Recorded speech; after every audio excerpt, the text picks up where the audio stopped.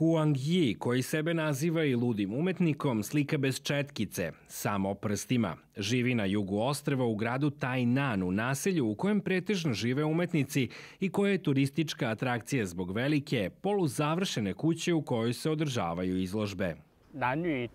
Bez obzira na političku opredeljenost mojih prijatelja, koje imam sa obe strane, mogu da kažem da su oni dobri ljudi.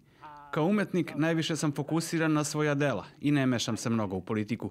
Kada sam saznao da će se uskoro održati izbori, bukvalno su me zasvrbele ruke i pomislio sam zašto ne bih nacrtao te kandidate.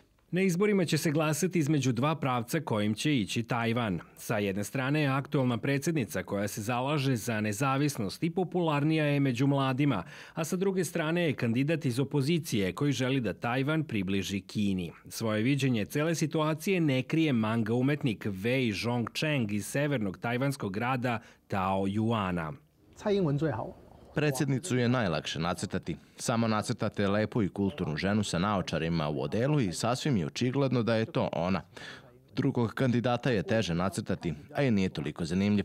Oba politička kandidata su, kako kažu umetnici, ulepšana na njihovim slikama. Njihove radove iz nedelje u nedelju objavljuje poznati tajvanski politički magazin. Wei Zhong je takođe poznati po političkim crtanim filmovima koji se emituju na tamošnjim televizijama manhua, manhua, just... Mnogi koji se bave našim poslom crtaju političare kao karikature. Međutim, zato što dolazim iz manga škole crtanja, gde mladi ljudi imaju prenaglašene crte lica, isto tako crtam i naše političke kandidate. U manga stripovima žene moraju biti prelepe, na muškarci veoma ozbiljni i surovog izgleda.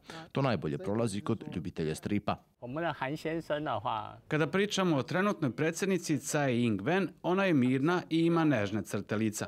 Zato je uvek nasmejana kada je crtam.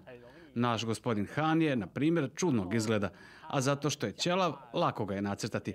Kada priča, njegovi izrazi lica su, zbog toga, prilično agresivni i više dolaze do izražaja.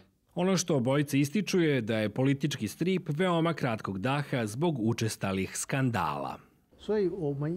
Ne smemo rano početi da crtamo. Moramo čekati dan odluke jer nećemo biti aktuelni, a naše crteže neće objaviti. To se isto dešava i kada se saznaju veliki skandali. Tog momenta krećemo da crtamo i pratimo vesti kako bismo kasnije možda još nešto dodali na crtežima. Izbori se održavaju ovog vikenda, a pobednika će izabrati oko 19 miliona tajvanskih birača.